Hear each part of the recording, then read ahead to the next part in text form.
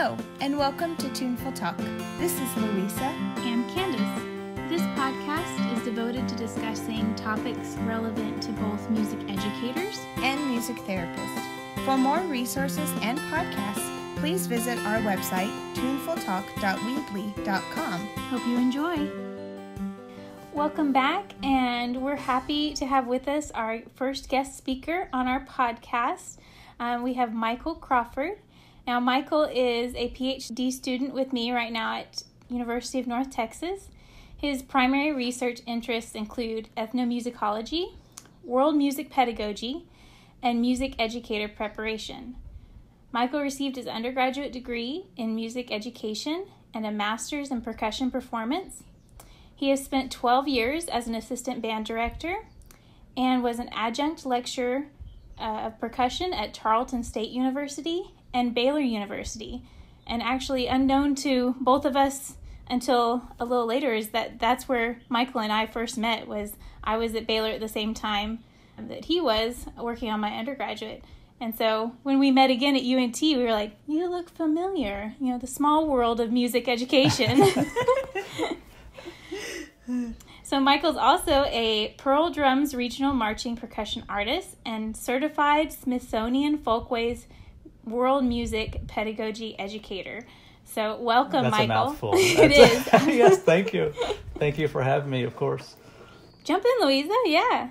Okay, so I think our first question is about world music because I know Candace told me that you've described it as world musics with an S, and we were just a little curious as to why and if you can give us some background on that. Sure, absolutely. You know, um, this is something that is very diverse in its representation, which I know is why you bring it up because it's confusing at times.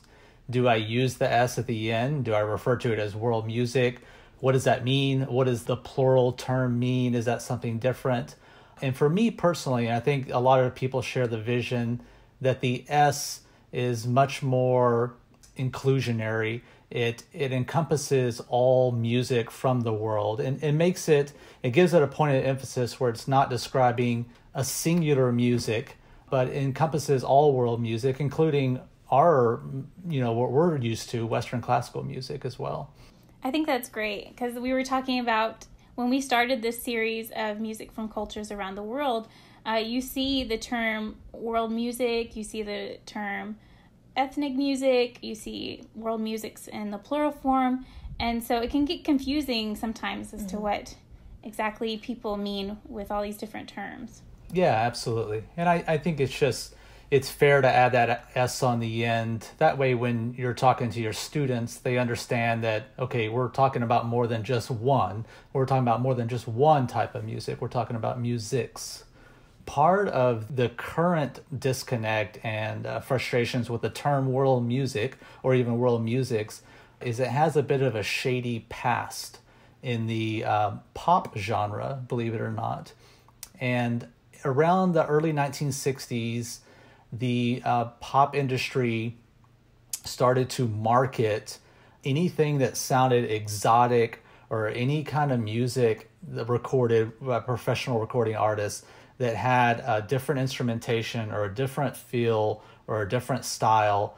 They started to market that as uh, world beat or new age world music, and and there was a lot of that going on. Um, Ravi Shankar was playing sitar with the Beatles. Miles Davis and John Coltrane had a ton of Eastern influence in their their new era of jazz that had you know come out of the fifties, this cool jazz and bop and stuff like that. And and what happens is the record industry jumped on that opportunity and kind of created this categorical music term called world music.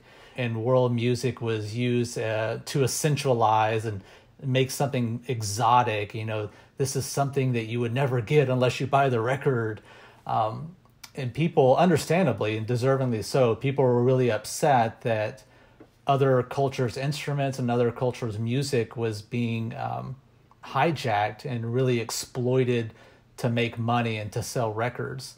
I know personally, I grew up in the early mid 90s. I remember experiencing that. Uh, there's a band called Enigma, and Enigma was this kind of club techno group, but they would often take like Native American chant and layer it over the top of their techno music. And I just remember as a kid going, wow, that's really so different. But the problem was is I wasn't appreciating the Native American music for its cultural origins. I was just appreciating it because it was so exotic and othering. And that abuse has really led to a, a lot of negative associations with the term world music. So I think soon, uh, and certainly there are going to be a lot of people moving away from that term because it's just been wrapped in so many negative things. Mm-hmm. Have you heard of a term that might replace world music? You know, multicultural music and multicultural music education has come up a lot. You know, using the term diversity, mm-hmm. using the term music, and not trying to delineate any kind of other association with it. Yeah. Is what and to be honest, is what I try to push forward. And I just say, hey, we're going to do a new to us type of music. Mm-hmm. And then maybe that's South Indian music. But I don't, I try not to make this clear delineation that it's separate from ours. It's just different. I like that. I think that's great, Michael.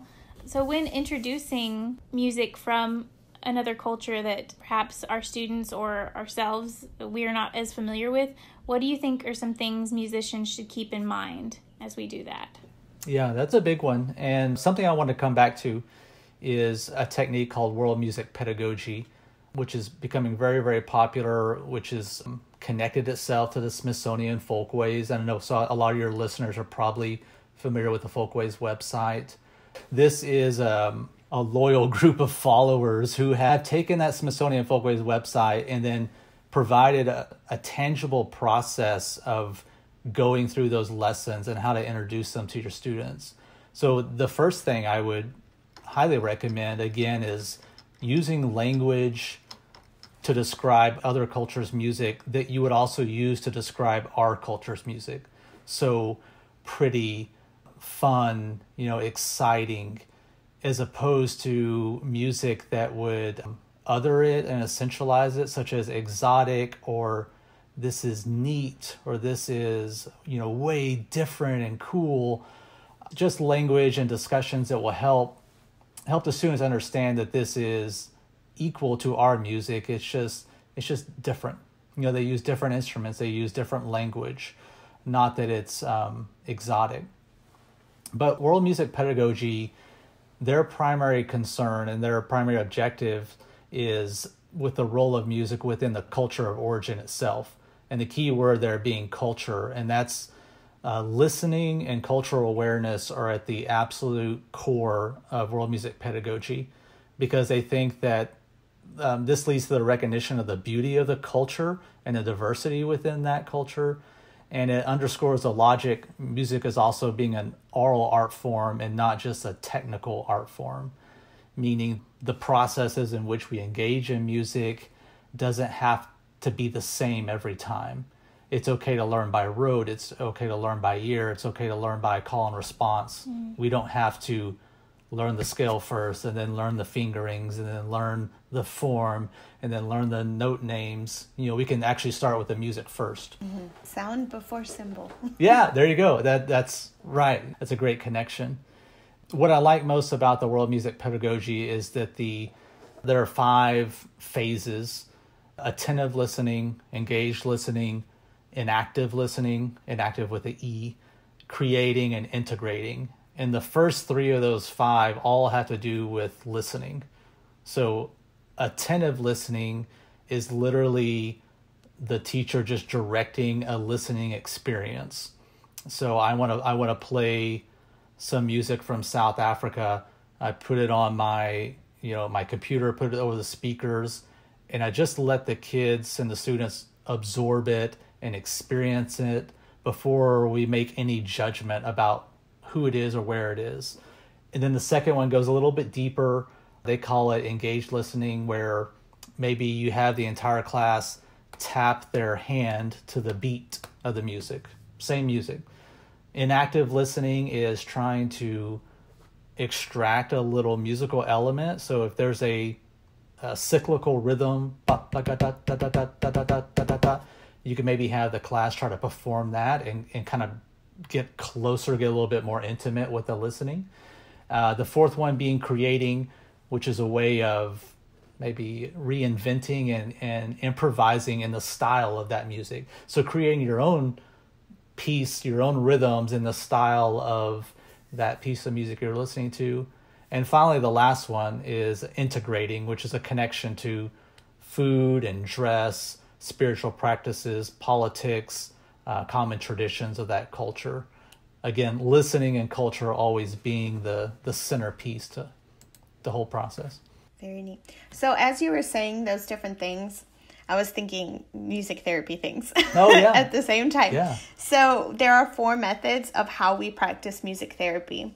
And it's receptive, where it's, you know, listening, Mm. compositional, recreative, and then improvisation. And some of the things you were talking about, you know, they fit within those four categories or within kind of both of them, especially when you're talking about like recreative and improvisation. Yeah. So, and I I'm I'm guessing I I don't know, but I'm guessing that that continuum of four it doesn't have to go one two three four. no. It can go two four one. Yeah. Same thing with the world music pedagogy. If you want to start with integrating, you know, you introduce the whole lesson cycle with you know talking about food and you know showing the flag and talking about the population of the country and absolutely Yeah. And for these four methods, we choose whichever fits for the client and whatever they need. Hmm. So maybe they need to work on just listening and receiving some sort of music, or maybe it's more of they need to create, yeah. which might be the more improvisational part of it. So, And I think maybe a student just needs and wants and responds best when you play to them. Mm-hmm. You know, you're presenting music to them, or maybe that they find the most enjoyment when they're participating. So to have the the skill sets and the knowledge of your own student and those processes are are key for sure. So, Michael, with your studies in ethnomusicology and world music pedagogy, what is it that drew you to your interest in all these different types of music? Oh yeah, well, great question. I my upbringing is very traditional. I, I grew up in Texas and I started band in sixth grade and I wanted to play the saxophone, but I got I think I got to the band fair late and they had me audition for percussion because they were already full. And it just stuck and I, I loved it. A lot of my friends were playing. Well, I wanted to play the drums. To be, let's just be honest, I didn't want to play percussion. I wanted to play drums, but uh, I fell in love with that and uh, got into percussion heavily and knew about my sophomore year in high school that this was a path that people would pay me money one day to teach drums and i thought that was the greatest thing ever and i, I had a lot of great exposure to west african drumming i got to play steel pans when i was in high school so i had a lot of early expo- and really positive experiences participating in world music ensembles. And in in hi- this is a hindsight perspective but i remember those ensembles being so fundamentally different musically speaking it, it was so refreshing and it really energized me in a different way. And I, and I love marching band I love participating in all region and concert band and but the steel drum ensemble was so different. You know it, it awoke it awoke something inside of me that that marching band couldn't or didn't. And again i just i fell in love with the process of participating in those ensembles and really started to study it and seek um, and, re- and much like everybody my undergrad education did not prepare me to or expose me to a lot of world music ensembles because I went to a small liberal arts college and we just didn't have that kind of thing. So a lot of workshops, a lot of driving to South Carolina to take a lesson with someone, you know, and just reaching out as, as much as I can independently. Mm-hmm. I know you talked about like your performance, and I remember in one of our classes that we had together, we discussed how you know some people went to a steel pan concert, and they encouraged dancing and moving for the concert goers, and how that was a very refreshing experience as a concert goer because you're able to move to the music rather than the typical what we're used to and what maybe even we're we teach our kids is to sit quietly and listen rather than be active and part of the music. Yeah, and you just articulated really, really well uh, what a man named Thomas Turino defines as participatory versus presentational music. Mm-hmm. And I say we, and probably most of the listeners and the three of us here, we are most accustomed to the presentational style of, you know, traditional choir or orchestra or band where we work for weeks or months on music. The audience comes and sits down, we play it, and at the very end they clap to show their appreciation. Mm-hmm. That is a very presentational style. It has these unspoken rules that you have to follow. But what you mentioned about the people you knew that had these experiences with uh, world music ensembles is it's a participatory performance. There is no structured focus on technique or standardized repertoire typically. There is no audience artist delineation, mm-hmm. as in, this is an event where we're all going to share this music. And if you want to uh, participate in it as well by dancing or clapping or ululating or whatever you can do, then that is certainly welcome. And that's a that's a very different experience. Mm-hmm. It's more active. You mentioned uh, your experience in being in some ensembles like that. Do you have a favorite memory or something you'd like that comes to mind? No, well, one one of the stories I always tell is um, one of my first experiences is when I was pursuing my master's degree. And for frame of reference, I got my undergraduate in music education. I was pursuing my master's degree in percussion performance. So at this juncture, I, I, had a bit of confidence that I was a good percussionist. You know, I, I, had, I had made it to a, a pretty high level at that juncture, and we had a guest clinician bring some West African Ewe drumming. And we can talk about Ewe drumming later on in the podcast and more specifics, but from an individual perspective, I mean, what what what an individual is playing on a drum or a bell or a shekere is really quite simple. I mean, you may be only playing over and over and over and over, but the complexity is when the layers and layers and layers of polyrhythms add on top and I had an unhealthy amount of confidence and volunteered to go up and I fell flat on my face. I could not I could not sustain my rhythm with all of the, you know, the complexities of those interlocking patterns. It was so um, illuminating and humiliating and exciting all at the same time. You know, it just it made me want to learn more. And it made me want to uh, experience what was so fundamentally different about that in, in all the best ways. Hmm. All right. Well, this is going to be kind of a long episode, so let's take a quick break.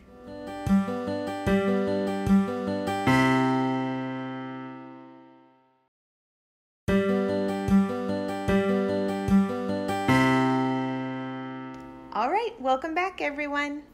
So, Michael, in this episode, we're specifically talking about some music from the African continent.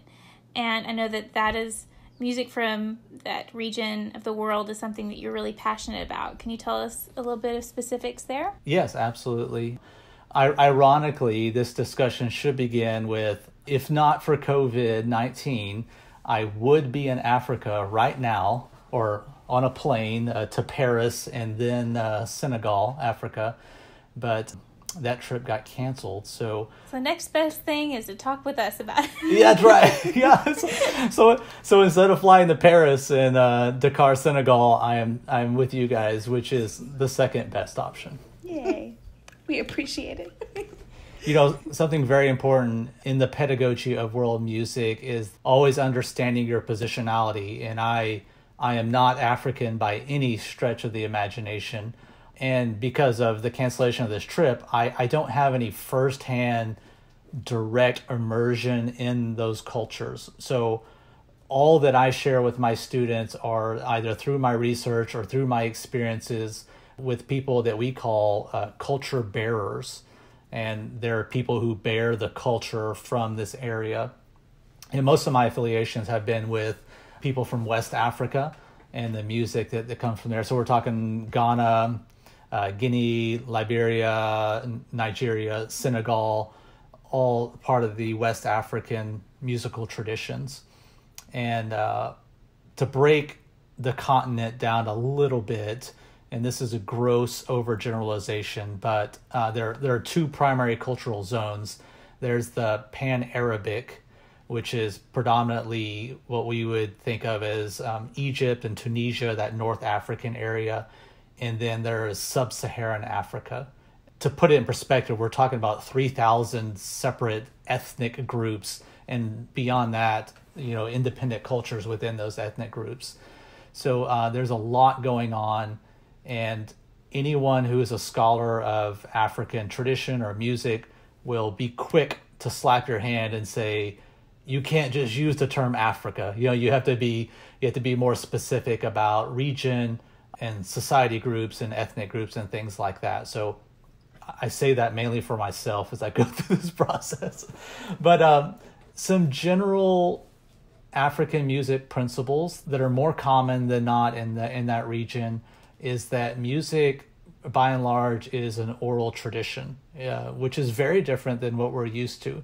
We have folk melodies, you know, Happy Birthday and, and Johnny Appleseed and things like that that we pass down orally, but our music education from a very early age, where we learn, you know, solfege or note names, that is not as common in the African content. They typically focus on music making groups in Africa versus individuals, where particularly in the secondary schools here in America and across Europe, we focus on the individual, the strength of the individual, so therefore the result of the group is better. Africans tend to think in reverse. We get the strength of the group good and solid, and that's that's ultimately what we want. And of course, there's an extremely close relationship between African music and dance and African music and language, which, to be honest, is part of why the Ewe music was hard for me to learn because I don't understand the language. And a lot of it, the way it's taught orally speaking, is they speak the language, and that's the way you dictate the rhythm on the drum or the bell. And I was just completely in the dark. And we talked a little bit about that Ghanaian, the, the complexity of the polyrhythmic you know the beauty and the challenge and the unique qualities of West African drumming and are the complex polyphonic and the complex polyrhythmic textures. So West African music is thought to be and is most celebrated from a vertical perspective as opposed to a horizontal linear perspective. You know, I I think of Western classical music, which I love and I'm very well versed. We think it has a little intro theme, and then we have the A section, then we have a development, and then we go to the B section, then we have a development, and you know, kind of like a rondo form or something. We think of it moving from left to right, uh, whereas African music is thought to go from bottom to top. The linear progression is not the most important thing, it's the way that all the interactions rhythmically, top to bottom, happen together. Thank you for explaining that because when you first said vertical and horizontal, I was like, wait, but I can see that being really neat in a classroom or in the group of setting up the foundation and then each getting to build on each other. Whether you're doing it in the form of representing African music or you're just improvising. Yeah, whenever you were talking about it, I had the visual of filling up a glass. What was the visual that came to mind? Mm. I, you know, one of the beautiful things about using uh, West African drumming patterns and music stylings in your class, uh, whether it be, you know, K through five, or you're dealing with adults, or you're dealing with music therapy clients, is that fundamentally it's quite simple in its execution. And the participatory style doesn't put too much credit into the technique and the appropriate way that you're holding the instrument. It's about the experience that you're having. So the young students aren't governed by judgment and they're not reluctant. They, you know, particularly there's drums around, and as long as the teacher is presenting it without judgment, they're willing to do anything, and it's all, you know, call and response. It's all just showing by example. You hit the drum four times right left right left and then your students will naturally do that without question. You know it's it's really great in the classroom environment. Yes and i've seen this in action with michael in uh, presentations at Texas Music Educators Conference, and it's been great, and even my own class, because sometimes when you're working with adults versus kids, particularly adults that may not have a musical background, they can have some hesitancy. So, what advice would you give to somebody leading this activity and encountering either a group or a few individuals that are hesitant to take part in this participatory activity? Yeah, I think that's a really great observation. This is something I've been doing these types of clinics and presentations for about five, six years now. And I, have learned a lot about myself and a lot about the process of what works really well. And to be honest, what I had to pull away from is that I have a master's degree in percussion performance. So the first thing I want to do is I want to make sure that everybody is holding the drum correctly and striking the drum correctly. But that was a really detrimental mindset. And I found myself at the end of the hour session having not accomplished as much as I want. So I really flipped that pyramid upside down and started with simple conversational rhythms that I knew that everyone, even without musical training, could do. You know, dum, dum, dum, dum, dum, dum, dum, dum, dum, dum, and they play that back to you. I play, you play, I play, you play. And two things. The first thing we're doing, we're engaging in music instantaneously without any uh, qualifications. Mm-hmm. And the second thing is we're systematically building confidence. And those people who were intimidated are now like, hey, look what I did. You know, I just played a rhythm with other people. It was amazing. Let's put on a concert. You know, they uh, understandably they, they get really excited and they get really um, invested and intrigued. And uh, like Luisa was using this term earlier, you just slowly fill that cup of water up slowly and slowly and incrementally. They don't even know what's happening. And by the end of that 45 minute hour session, we're making really cool music together. And it's just because you opened up their vulnerability and their willingness to want to be a part of it.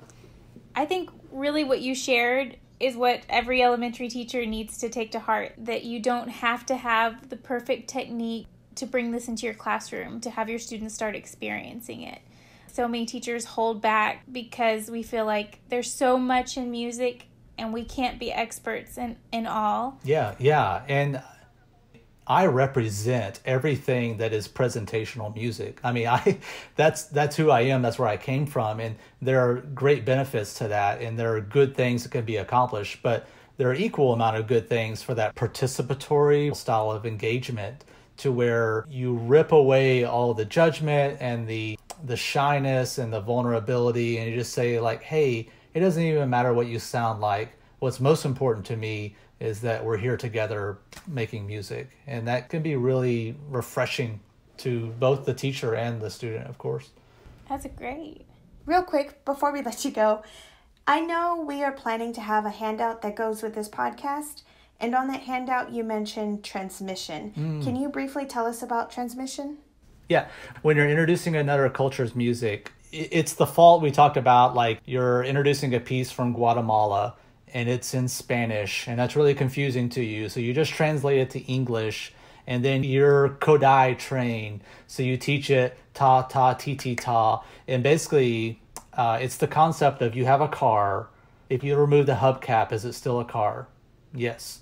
If you take off one of the windshield wipers, is it still a car? Yes. If you remove three of the four tires, is it still a car? Uh, you know what? What is that tipping point where you've you've taken so many elements out of the music that it's not really Guatemalan music anymore. It's this weird hybrid th- Frankenstein that you created. I infer that the, the way that you teach the music is equally important to the music itself. So if I'm teaching West African music, I'm not going to write it out. I'm not going to give it to my kids in eighth notes and sixteenth notes. I'm going to teach it in that oral tradition I'm going to use the native Ghanaian language the best I can. You know, we're going to go through the process in the most appropriate cultural way because it's an experience. It's not just a novel thing like let's do something different. No, let's let's experience West African music. Yeah.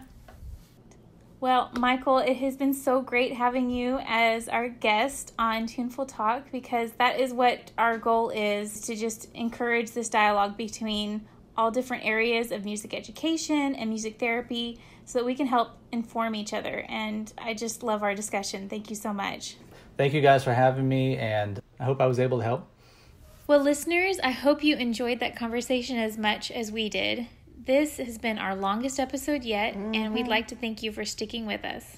So, we're going to wrap up by sharing a few songs with you, and these songs we have used with our own students.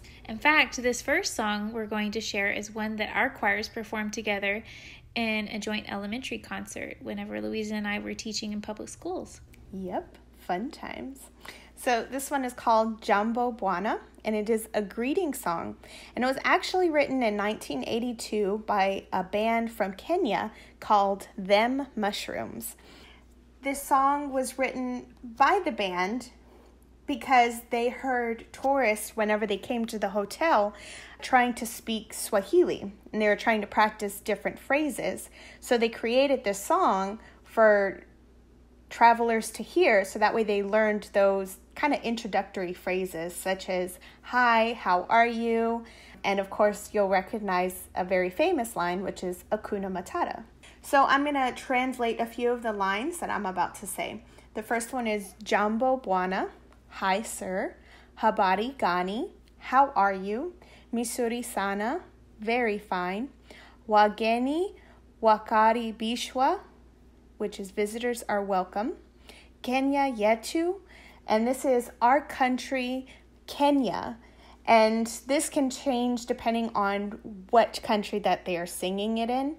Uh, and then the last one, of course, is Akuna Matata, which is there are no worries or no worries. And it sounds like this Jambo, Jambo Bwana, Habarigani, Misuri Sana wageni wakaribishwa Kenya yetu akuna matata.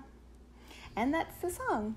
Very catchy for the kids. That was so much fun to do. Mm-hmm. Okay.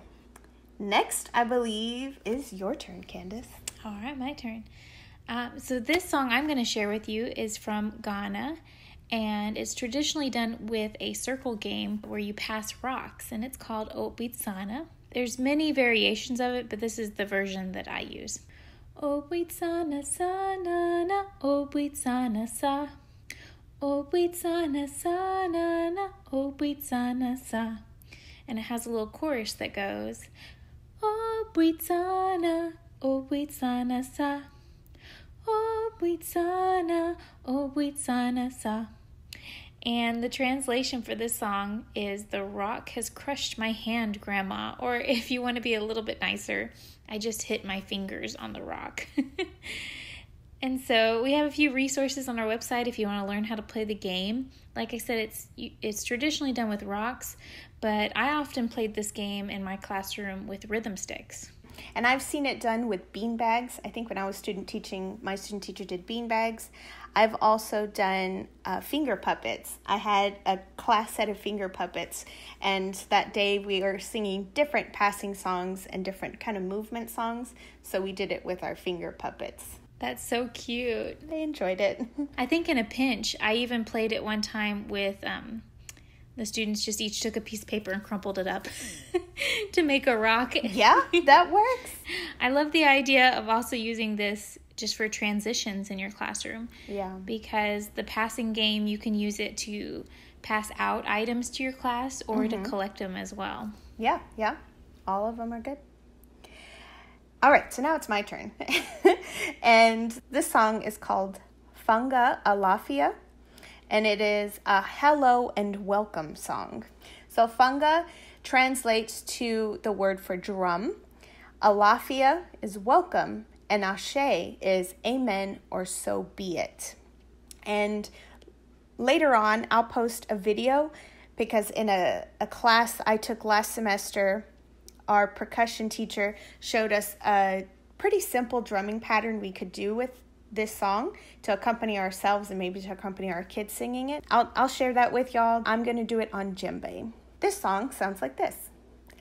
Fanga lafia ashe ashe Fanga lafia ashe ashe Ashe ashe ashe ashe Ashe ashe ashe ashe That's great. And that song comes from Nigeria, right, Luisa? Yes, yes, I forgot to mention that. This next song comes from the Eastern Cape of Africa, mm-hmm. which is a province of South Africa.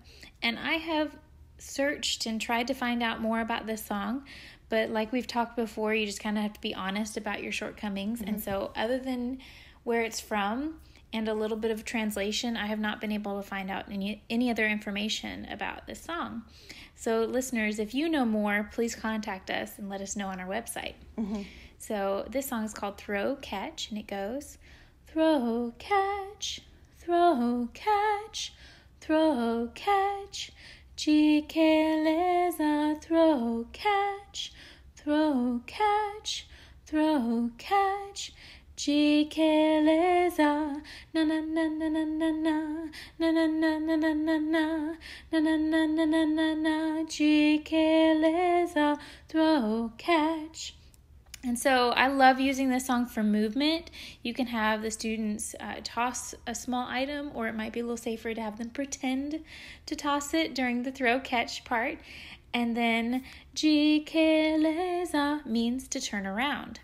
And so I love doing movement, adding in a stomp, adding in some improvisation at the na na na na na na na part, and you're welcome to repeat that as many times as you like because you can just have the students start to add in descants and just really have fun and be creative with it. Mm-hmm.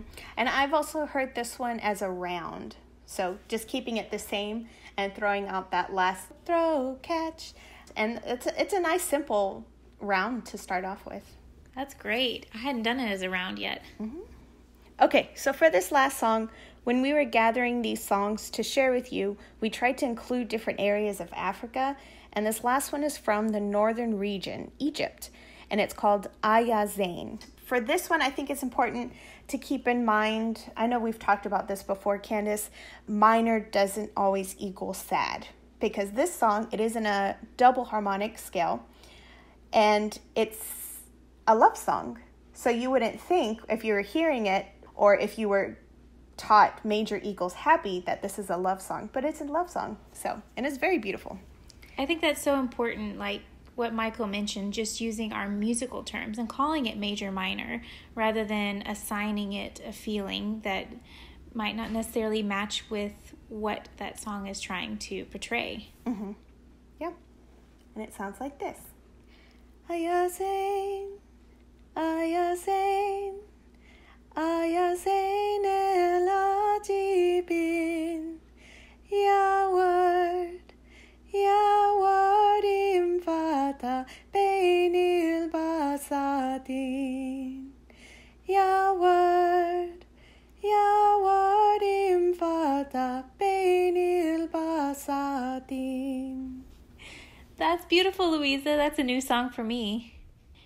Well, thanks for hanging out. Our next episode is going to wrap up this series about music from cultures around the world. Although we could really keep discussing this topic forever. Yes, it's never ending. I mean, think of how many cultures are around the world. So, there's, yeah, exactly. There's so much great music to explore, but you and I have a growing list of topics to discuss. So, stay tuned in, everyone. Thanks for listening to Tuneful Talk, and y'all have a great day.